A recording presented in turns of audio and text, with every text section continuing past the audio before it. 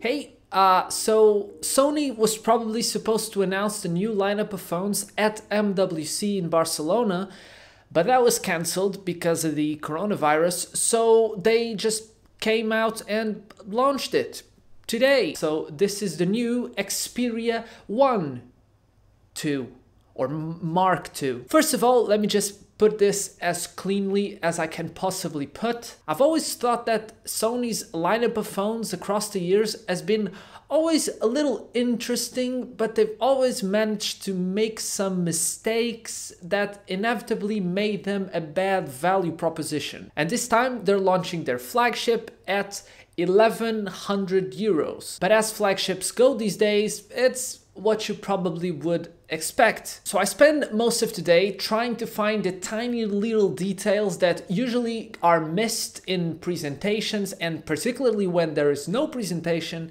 in beautiful marketing videos. Usually they don't talk about the small details that make a big difference when it actually comes to day-to-day -day life when using a phone. So this is my list in, in no particular order of features that I think you should keep an eye on if you are considering this to be your next phone. The number one feature that I think makes this phone incredible is the naming. If you think about it, no other phone on the market has a weirder naming scheme than Sony's flagship line.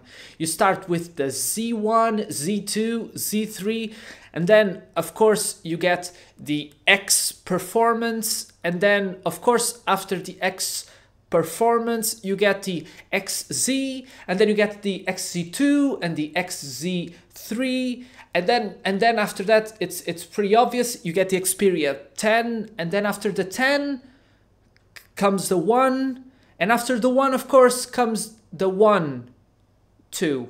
It's that's the main.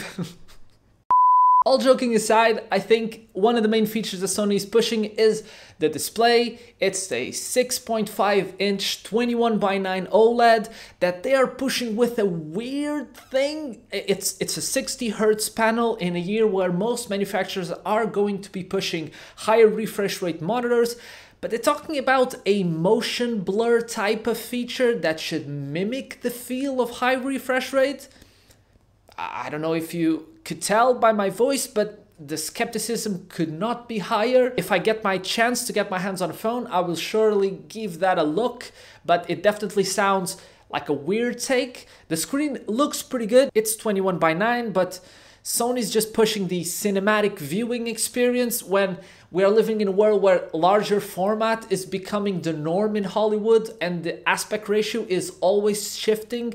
And also, if you're watching online content or if you're watching Netflix or something like that, most shows usually are closer to 16 by 9. They have smaller bars and smaller bars when compared to traditional movies. And if you go watch like the next Christopher Nolan movie or 1917, they're not 21 by 9 and if you're going to be watching that on the phone there's going to be some cropping of course and i don't know it's it's up to you if you want to crop content or if you want to leave bigger black bars but for day-to-day -day use it definitely looks like a good feature and a good aspect ratio to have multi-windows. Also it's not a 10-bit panel uh, they're talking about some 2-bit smoothing on an 8-bit panel not sure if that's going to be noticeable in HDR content, but I think it should be fine. The second feature that Sony is definitely putting a big focus this year is the camera. They're using a sensor that is twice the size of last year's. It's not as big as Samsung's S20 Ultra 108 megapixel, but it sounds like a good sensor and a good upgrade when compared to any other phone that came out last year. But as I've said in the past, the biggest thing in mobile photography and mobile videography is definitely the computational photography side of things. And hopefully Sony has taken a big leap forward when compared to previous years. A lot of the marketing around the photography side comes from Sony talking about technology used in the Alpha line of cameras like this A7 III that they're going to be porting into the mobile phone. They talked about continuous 20 frames per second with autofocus and auto exposure, which should be first on a mobile phone. They talked about eye tracking for both people and animals. That should be interesting with the larger sensor in a mirrorless camera with a full frame sensor. It's a game changing feature.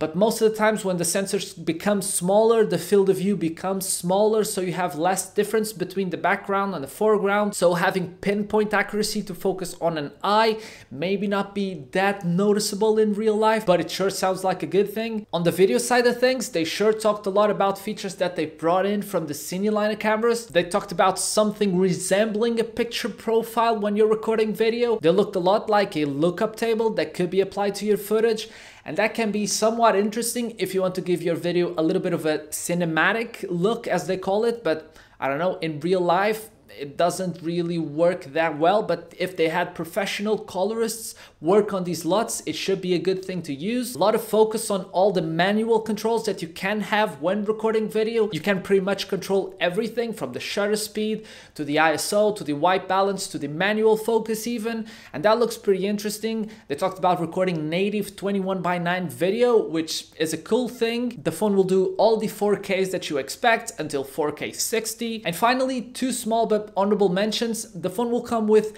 Bluetooth 5.1 and that comes with a feature called directional location. That pretty much looks like an open standard for what Apple tried to do with the U1 chip on last year's iPhones.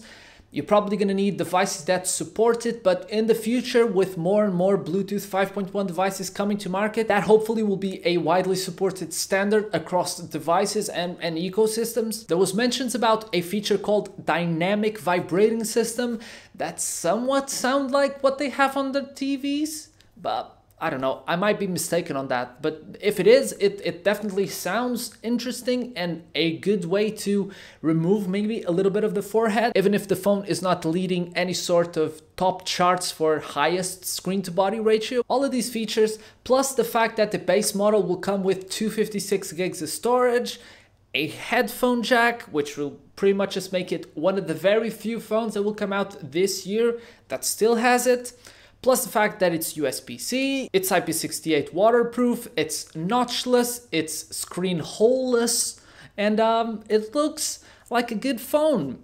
Hopefully Sony will be able to market it somewhat well. Um, but if the way that they released it is anything to go by, I don't know if they'll be able to sell that many of them. So yeah, um, that's been it. I hope you guys enjoyed this video. If you did, you already know what it is. Click the subscribe button down below and the tiny bell thingy. Um, if you're new around here, it's it's pretty much just my face and technology trying to make good tech videos about things that actually interest me. Um, yeah, uh, bye.